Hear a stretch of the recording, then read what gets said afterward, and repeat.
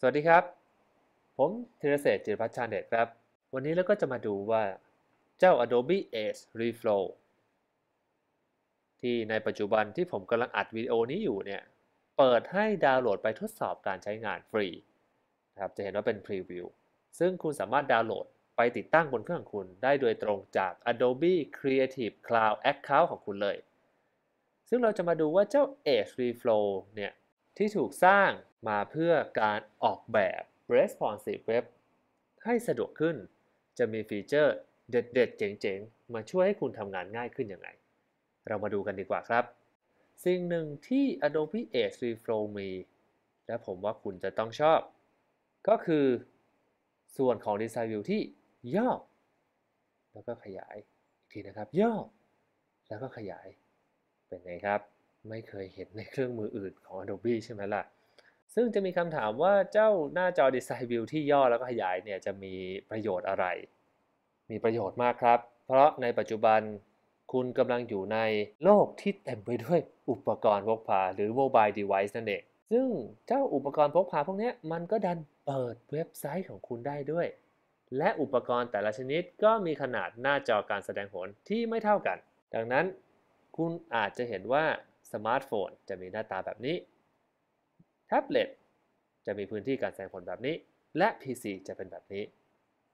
ดังนั้นคุณไม่สามารถที่จะคาดเดาได้ว่า อุปกรณ์ขนาดไหน หน้าจอการแสดงผลแบบไหนจะมาเปิดเว็บไซต์ของคุณดังนั้นปัจจุบัน Adobe Edge Reflow จะเข้ามาช่วยตรงส่วนนี้ให้คุณสามารถดูได้ง่ายขึ้นว่าพอเราคุณดีไซน์ดีไซน์วิวเนี่ยนะส่วนการแสดงผลของ Layout ของคุณจะเป็นยังไง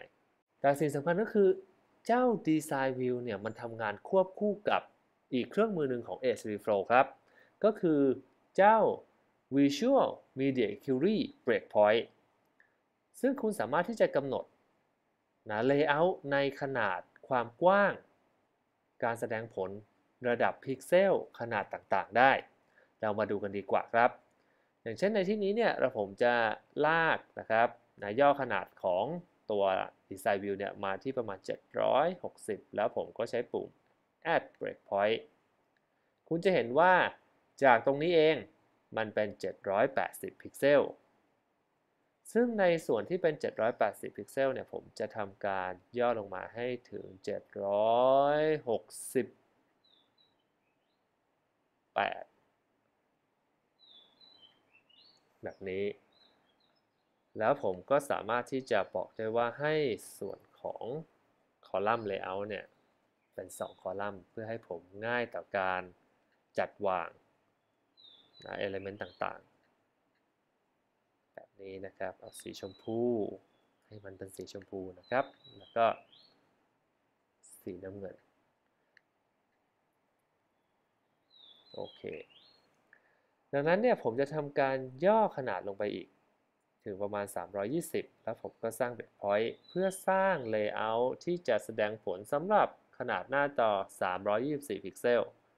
ดังนั้นผมสามารถจะปรับให้ Layout ของผมเป็นแบบ 1 คอลัมน์ แล้วก็ปรับขนาดให้ดูแบบนี้ ดังนั้นเนี่ยจะเห็นว่าในขณะที่เราทำการเปลี่ยนค่าของ Object ต่างๆ ที่อยู่บน Layout ของเราเนี่ยคุณจะเห็นว่าส่วนที่คุณทำการเปลี่ยนมันจะไฮไลท์เป็นสีของอะไรครับ ของส่วนพื้นที่การแสดงผล Breakpoint แต่ละสี